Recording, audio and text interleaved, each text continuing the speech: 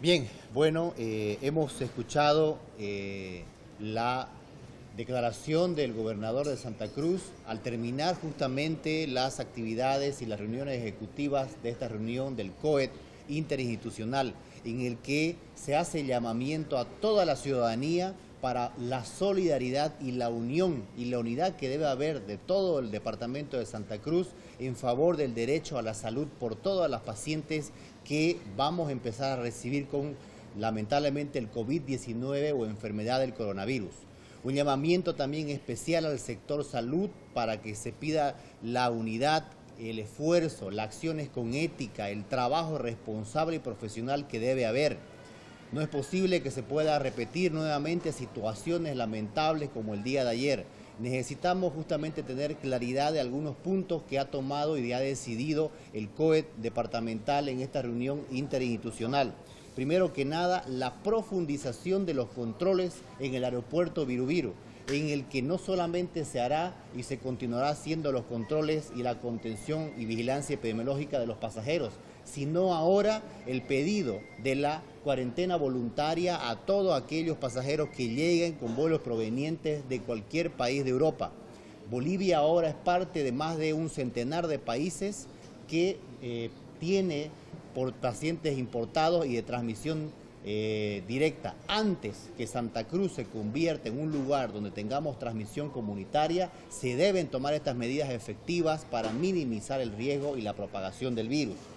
A partir de mañana 13 de marzo, todos los establecimientos de comercio, los establecimientos públicos y privados, los establecimientos de afluencia masiva van a tener que empezar con los controles respectivos y con la comunicación a todos sus asistentes para el uso previsible de los cuidados de lavado de manos, higiene y el alcohol en gel para evitar justamente la transmisión del virus en, eh, las comunidades de Buen Retiro y en San, Carlos. Vamos a continuar con las acciones respecto al tema de la cuarentena, ya no solo de los contactos, sino de toda la población que pudo haber estado en contacto con esta lamentable situación de la contaminación por el COVID-19. Por lo tanto, vamos a mitigar la propagación del virus, del coronavirus, del COVID-19, para evitar que Santa Cruz también sea parte de un escenario eh, dentro de esta pandemia global declarada ya por la Organización Mundial de la Salud. La suspensión de clases de manera inmediata, doctor, ¿y quiénes vienen? Eh, estamos esperando el instructivo que saldrá hoy en la tarde, pero desde hoy a mediodía en realidad quedan suspendidas todas las actividades escolares en todos los niveles hasta el 31 de marzo. Quiere decir inicial, guardería, kinder, preescolar, eh, el nivel primaria, secundaria, universitario, pregrado, posgrado, centros de educación alternativa como por ejemplo los CEA y también todos los institutos técnicos públicos y privados y las universidades públicas y privadas también deberán suspender clases hasta el 31 de marzo. ¿Tienen que los estudiantes en sus casas? Eh, hasta el 31 de marzo, perdón, el 31 de marzo se evaluará qué medidas se, se, tomarán. Instamos a toda la población que se quede en su casa, que no es para que los jóvenes o los niños puedan hacer otras actividades, que no vayan a los centros de aglomeramiento, que eviten estar en contacto con mayor población y lógicamente que puedan prevenir todo toda situación de contagio con el debido aseo, lavado de manos, utilización del alcohol en gel y que cuando tengan algún síntoma puedan referirse a los centros médicos que están habilitados, pero también hay la línea gratuita que ha habilitado el Centro de Operaciones de Emergencia. Es fundamental que todos tomen las precauciones y todos tomen esta acción desde el día de hoy. No estén esperando que más tarde haya una reunión o que se pueda tomar una decisión. Las instancias educativas en temas académicos seguirán trabajando, pero todas las unidades educativas de todos los niveles estarán cerradas desde mediodía. Ahora, doctor, precisamente en estos momentos hay protesta en el distrito 5 donde se tiene internada esta persona con el virus y ellos manifiestan no tener todas las medidas de seguridad. Eh, ya se le ha proporcionado porque dice que, bueno, según la denuncia es que solo el personal del sede ingresa con barbijo, pero el mismo trabajador que está en estos centros no tiene la mínima seguridad que tiene. Justamente por eso es lo que hemos indicado, anunciado y mantenemos y ratificamos y además con la fuerza del COET Los únicos voceros oficiales para que podamos informar debidamente a la población, como lo hemos dicho, aparte de la Organización Mundial de la Salud, es el Ministerio de Salud y en Santa Cruz el COE del Gobierno Departamental y el Servicio Departamental de Salud. Le pedimos a la población que mantengamos una seguridad con la información que recibimos. De manera diaria nosotros vamos a informar la situación de los pacientes o el estado o los acontecimientos que se van a ir realizando. En el caso de la paciente se ha tenido y se ha tomado el control para darle seguridad, para hacer la contención y vigilancia epidemiológica en los días que falta antes de darle el alta, porque la paciente en algún momento va a dar y recibir el alta hospitalario o médica.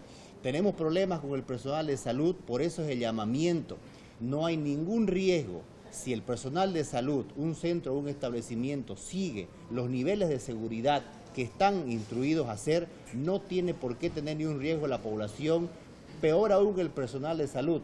La paciente está siendo atendida con personal específico para su atención. Nadie en el centro de salud ni la población puede tener ni un riesgo, porque como hemos dicho, el coronavirus no es una enfermedad que tiene un paciente que pueda ser radioactivo, por favor.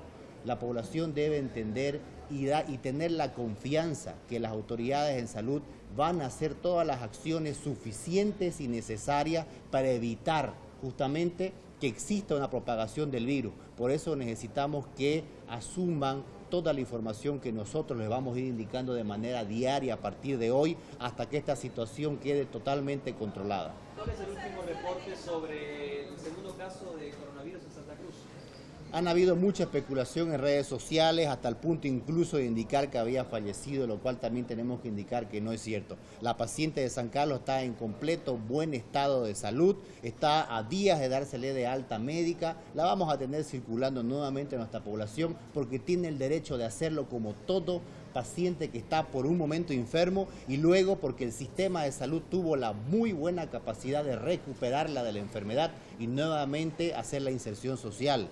El segundo caso de coronavirus en Santa Cruz, que es el tercer caso del país, fue igualmente dada su confirmación laboratorial el día de ayer, un paciente de 26 años que estuvo eh, que llegó el domingo pasado a Santa Cruz, que pasó los controles de seguridad del aeropuerto porque estaba asintomático y ha sido recién a los días después, es decir, el martes en la noche cuando empieza su sintomatología. El miércoles asiste de manera voluntaria justamente después de hacer una, eh, un aislamiento voluntario, asiste a un hospital, se le toma la muestra y horas después tenemos resultado positivo. En este momento el paciente está tranquilo, en buen estado, haciendo un, aislamiento domiciliario y se ha tomado contacto de manera continua durante hoy día para control de los contactos respectivos que el paciente tiene.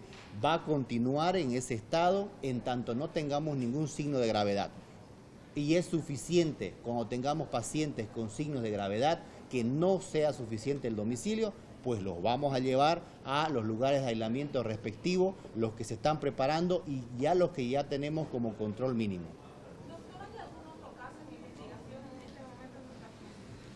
Tenemos nosotros todavía dos casos sospechosos que estamos esperando el control del laboratorio, esperemos justamente eh, la negatividad pero vuelvo a insistir, esto no es algo nuevo. Ya llevamos, llevamos más de 21 casos descartando. No es un tema novedoso, no es un tema que recién estemos nosotros aprendiendo a manejar. Ya llevamos 21 casos descartando, de los cuales dos han salido eh, como confirmados sospechosos y que se convierte en el tercero del país. Confíen en el sistema de salud, en la vigilancia epidemiológica, porque el manejo del coronavirus es con protocolos de las infecciones respiratorias agudas graves como se manejó con influenza. Y al final va a quedar simplemente en un recuerdo en la población y vamos a tener con seguridad coronavirus todos los años de una manera endémica, es decir, pacientes que se enferman cada año siempre y cuando no respetemos los filtros. La población, ¿qué necesita? Aparte de preocuparse, ocuparse del manejo de los filtros. Ya lo dijo la licenciada, el distanciamiento social, evitemos las aglomeraciones de personas, quedémonos en casa, en familia, a conversar, a aprender, a juntarnos nuevamente, a mantener unidad y si vamos a salir a, a, lugares públicos y estamos con sintomatología, recién podemos utilizar el barbijo. No hagamos uso innecesario de esos recursos. El lavado de las manos con agua y jabón es la mejor forma de mecánicamente retirar el virus de nuestras manos para evitar el contagio que hacemos al tocar los objetos. Y luego el alcohol en gel o el alcohol 70 para sanitizar las manos. Estas acciones o filtros claves nos van a evitar la propagación de la influenza, que ya tenemos un fallecido por influenza y muchos casos positivos, y la propagación del coronavirus que ya entró en Santa Cruz con dos casos importados y las medidas de este COET instruido por el gobernador van a evitar la propagación en toda la ciudad de Santa Cruz.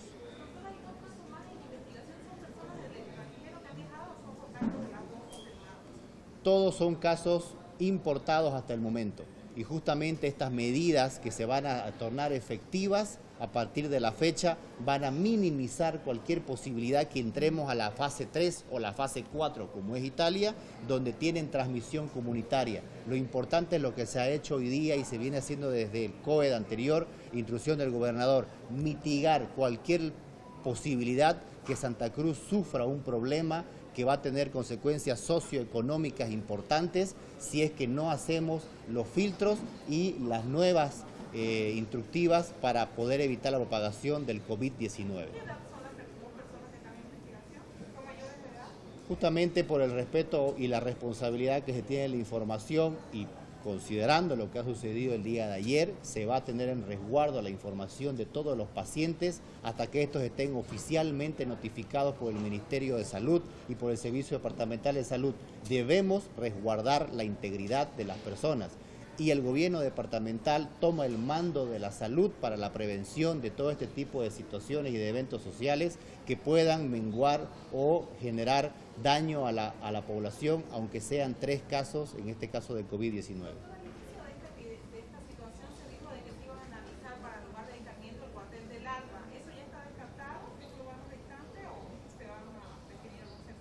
En la medida en la que exista la posibilidad de que la contingencia genere mayor demanda, la oferta tiene que aumentar. Y el sistema ya tiene un plan específico que nos permite ir de manera paulatina aumentando la oferta. Solamente por hoy, ante la presencia de dos casos importados, solo necesitamos un solo lugar para el aislamiento. En la medida que va incrementando la cantidad, que ojalá no lo hubiera, vamos a ir aumentando la situación de los establecimientos de salud. Si la cantidad fuera demasiada y sobrepasa la capacidad instalada de los servicios de salud, necesitamos áreas de aislamiento y contención mínima y ahí tomaremos todos los lugares que, puedan ambientarse y que la interinstitucionalidad ya lo ha ofertado y todos están ya previstos en un plan muy bien coordinado. Gracias. 49. Ya, eso, eso digo, ¿no? Sí, está la 40. Sí, Cecilia Bellido ayer está enfurecida. Anoche y esta